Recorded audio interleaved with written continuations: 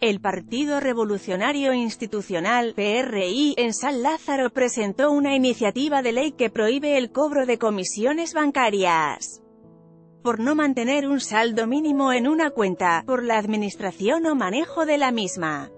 Esta misma propuesta establece que se elimine el cobro por disposición de efectivo y cheque liberado, por tratarse de cargos que generan un sobrecosto a los productos previamente contratados con las instituciones bancarias, en voz del diputado y dirigente de la Confederación Revolucionaria de Obreros y Campesinos, CROC, Isaías González Cuevas, detalló que esta iniciativa busca impactar de manera positiva la economía de las familias mexicanas que trabajan todos los días para construir un patrimonio que les permite garantizar estabilidad y un óptimo desarrollo. González Cuevas afirmó que esta reforma al artículo 4 bis de la Ley para la Transparencia y Ordenamiento de los Servicios Financieros también propone que no se cobren comisiones a establecimientos comerciales por recibir pagos con tarjeta de crédito o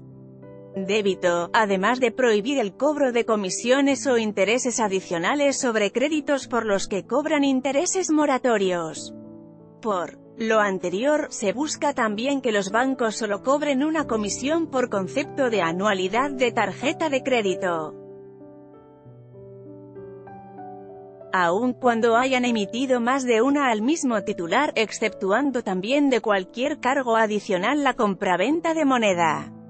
extranjera. En tanto, el diputado Rubén Moreira Valdez indicó que que actualmente son 18 millones de trabajadores en México los que reciben su salario con la intermediación de la banca y pagan comisiones que van de los 3 hasta los 7 mil pesos. Moreira Valdez explicó en qué caso se propone que las entidades financieras no cobren comisiones, por consulta de saldo en cajero automático, apertura de crédito, por no mantener un saldo mínimo en la cuenta, por administración o manejo de cuenta, por disposición de efectivo y por cheque librado. No es justo y es un exceso, que a un trabajador al que obligan a tener una tarjeta de débito le cobren por la apertura de esa cuenta, le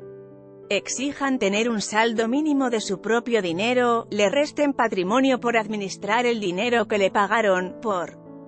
girar un cheque o por disponer de su salario. Cabe recordar que en noviembre de 2018, el Movimiento de Regeneración Nacional, Morena, presentó una iniciativa contra el alarmante y exceso abuso en el cobro de comisiones bancarias que solo en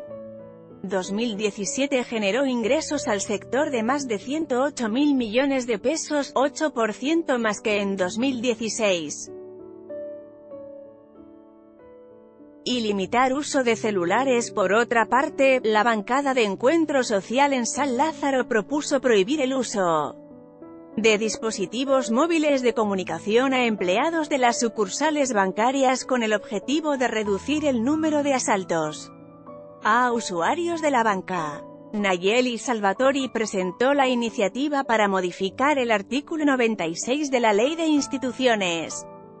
de crédito a fin de evitar que las y los cajeros puedan informar a delincuentes cuando un cliente haya retirado